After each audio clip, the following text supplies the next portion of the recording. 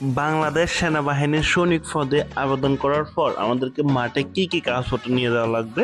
তো সেটা সম্পূর্ণ বিস্তারিত আপনারা আজকের এই ভিডিওর মাধ্যমে জানতে পারবেন। তো আপনার সেই জন্য ভিডিওটা না টেনে সম্পূর্ণ ভিডিওটা দেখতে থাকুন হ্যাঁ? তো আপনাদের মনের মধ্যে আরেকটা কোশ্চেন চলে আসতে পারে এই যে ভাই দেখতে পাচ্ছেন সৈনিককে কি কি কাগজপত্র লাগবে টু থাউজেন্ড টোয়েন্টি এখানে টু থাউজেন্ড টোয়েন্টি লেখা থাকবে, সমস্যা নাই। এখানে সবগুলো এক, এটা দুই হাজার বাইশে এগুলো নিয়ে যাওয়া লাগবে। তো বন্ধুরা, এই যে দেখতে পাচ্ছেন, ক নম্বরে মূলত এই যে শিক্ষাগত যোগ্যতা মূল সনদপত্র মানে হচ্ছে আপনার এসএসসির যে সার্টিফিকেট আছে থ্রি পয়েন্ট ফেজে আমরা আবেদন করতে পারব। ওইটার মূল সার্টিফিকেটটা অনেকে ফটোকপি করে সেটা সত্যায়িত নিয়ে যান।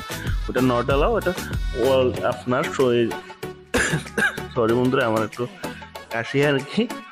তো এটা আপনারা একটু মেনে নেবেন হ্যাঁ? তো সেটা আপনার অরিজিনালটা নিয়ে যাওয়া লাগবে। দুই হাজার এই যে বাইশ সালে যারা ফার্স্ট করছেন, তারা আপনার এই যে বোর্ড থেকে সেটা বাইর করতে পারবেন। এই যে ফার্স্ট সাথে সময় লাগবে আর কি। এরপর হচ্ছে খ নম্বর দেখতে পাচ্ছেন সংশ্লিষ্ট শিক্ষা প্রতিষ্ঠান কর্তৃক আপনার দেওয়া স্থায়ী ঠিকানা, জন্ম তারিখে প্রশংসাপত্র এটাই এত বড় কথা না। আপনি সর্বশেষ যে স্কুল বা কলেজে পড়ছেন, ওখানকার আপনার এই যে প্রশংসাপত্রটা নিয়ে আসা লাগবে জাস্ট এতটুকু আর তেমন কিছু না। তো বন্ধুরা, আপনাদেরকে আরেকটা কথা বলে রাখি, সামনের দিকে যাওয়ার আগে আপনাদের কাছে যদি ভিডিওটা ভালো লাগে, আপনারাও সেটা লাইক দিবেন, আর আপনার অবশ্যই একটা এই যে শেয়ার করার চেষ্টা করবেন হ্যাঁ? এরপর হচ্ছে গ নম্বর দেখতে পাচ্ছেন অভিভাবকের এই যে সম্মতি সূত্র, সনদপত্র, যা সংশ্লিষ্ট চেয়ারম্যান কর্তৃক সত্যায়িত করতে হবে। মানে হচ্ছে আপনার অভিভাবকের সম্মতিপত্র, সেটা চেয়ারম্যানের কাছ থেকে একটা সাইন লাগবে আর কি, সেটা সত্যায়িত বলে আর কি। তো এটা আপনার সরাসরি ইউনিয়ন পরিষদ থেকে নেবেন। আপনারা যখন কম্পিউটার দোকান থেকে নেবেন, তখন এটা তারা এই চেয়ারম্যানের সাইন করতে চায় না আর কি, এটা একটু ধান্দা আর কি। যাই হোক চেয়ারম্যানের ধান্দা এটা এটা আপনারা বুঝবেন না। যখন আপনি যখন কম্পিউটার থেকে বাইর করবেন, যখন চেয়ারম্যানের কাছে যাবেন অনেক স্যার মানে সাইন দিতে চায় না আর কি। এরপর হচ্ছে গ নম্বর দেখতে পাচ্ছেন এসএসসি অথবা এসএসসি পরীক্ষার খবরপত্র মানে হচ্ছে আপনার এই যে এসএসসি এবং কি এসএসসি আমরা যেই পদে আবেদন করি না কেন, তো এসএসসি এসএসসি তো একটা সার্টিফিকেট আছে না, ওটার খবরপত্রটা আমাদেরকে মূলত এখানে প্রকাশ করা লাগবে আর কি। বন্ধুরা, আমি আপনাদেরকে আবারও বলতেছি, আপনার অবশ্যই একটা লাইক দেবেন। হ্যাঁ আপনার লাইকটা আমার দেখি যে মাঝে মধ্যে আপনার বিএস হয়ে গেছে ওয়ান কে কিন্তু লাইক রয়ে গেছে একশোটা। তো একশো ওয়ান কে যদি বিয়ে হয়, আমি দেখতে চাই ওয়ান কে মানে হচ্ছে এক হাজার লাইক চাই ভাই, আপনারা সবাই অবশ্যই একটা লাইক দেবেন, আমার অনুরোধটা অবশ্যই একটা রাখবেন হ্যাঁ?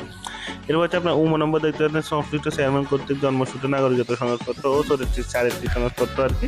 মানে হচ্ছে আপনার ইউনিয়নের চেয়ারম্যান থেকে আপনার এই যে নাগরিকত্ব সনদপত্র নিয়ে যাবেন এবং কি চারিত্রিক সনদপত্র নিয়ে যাবেন। এটা কোনো কম্পিউটার দোকান থেকে নেবেন না বা আপনারা ইউনিয়ন পরিষদ থেকে নেবেন, তাহলে চেয়ারম্যান সাথে সাথে সাইন দিয়ে দেবে। এরপর হচ্ছে আপনার ছ নম্বর, নিজ জন্ম নিবন্ধন সনদপত্র। এবং কি এটা হচ্ছে যাই এখানে অনেক বড় কথা বলতে, এটা আমি আপনাদেরকে সংক্ষেপে বুঝাই দিই আপনার জন্ম নিবন্ধন নিয়ে যাবেন হ্যাঁ সেটা অরিজিনাল নিয়ে যাবেন, এবং কি, পিতা মাতার জাতীয় পরিচয়পত্র মানে হচ্ছে আপনার আব্বু অথবা আম্মুর। আব্বু বসে থাকলে আব্বুটা হান্ড্রেড পার্সেন্ট নিয়ে যাওয়ার লাগবে। আব্বু মারা গেলে বা অ্যাক্সিডেন্ট বশত আব্বু যদি অনেকের আছে ভোটার হয় না তো, তাদের ক্ষেত্রে আপনার আম্মুরটা নিয়ে যাবেন এতটুকুই।